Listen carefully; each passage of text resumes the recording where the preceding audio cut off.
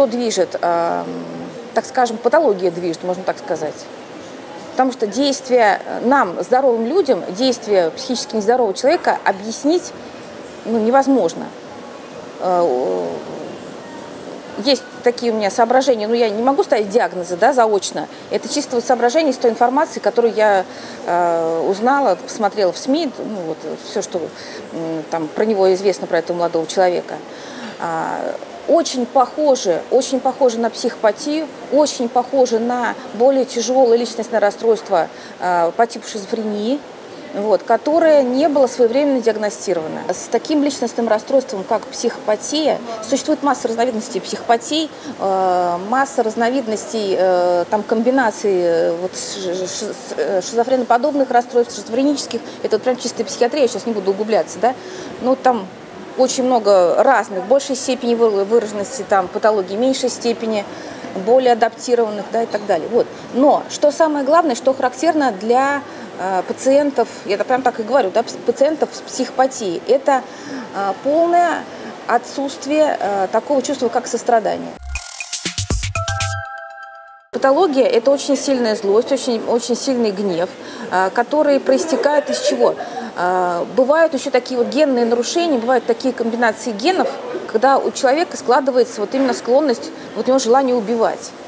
А тут вот у этого э, парня, да, видимо, несколько факторов, просто комбинация нескольких факторов. Предпосылки, первые, генетические могут быть, да, плюс э, предпосылки вот, эти, вот этой вот патологии э, в семейной системе, когда из поколения в поколение передается, э, так скажем, сценарий насилия, вот.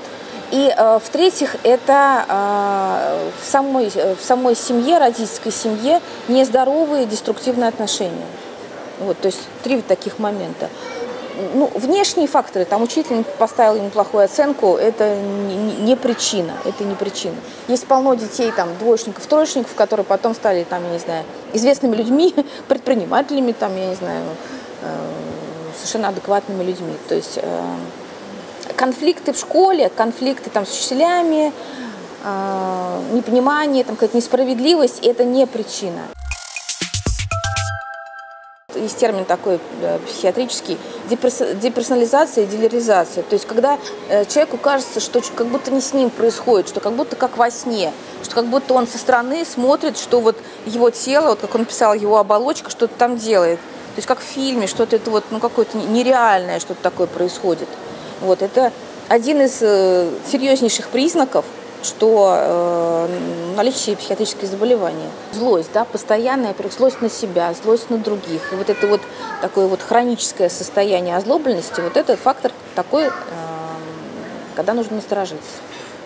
Потому что э, нормальный, здоровый человек, э, ну, в таком в спокойном, э, в позитивном состоянии преобладает. Да, бывают какие-то там сбои, когда там ситуативно кого-то разозлился, там спада там снижение самооценки, там что-то не удалось, не получилось и так далее, да.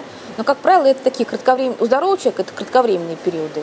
Как правило, мы хотим, ну, здоровые люди, хотим общаться, хотим взаимодействовать, сопереживаем другим, сочувствуем, а, стремимся помочь, быть полезными, сами запрашиваем помощь, активно как-то вот взаимодействуем. Да? Вот. Но замкнутость и э, вот именно вот эта вот такая хроническая озлобленность, это уже не, ну, не хорошее сочетание.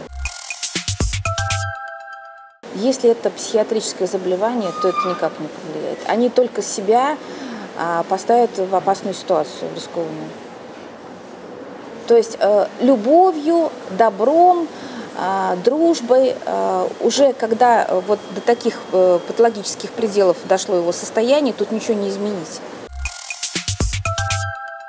бежать как можно спасать свою жизнь любым способом. Ни в какие переговоры не вступать, не пытаться там как-то договориться, что-то объяснить, потому что человек невменяемый, это бесполезно. Он пришел убивать, все.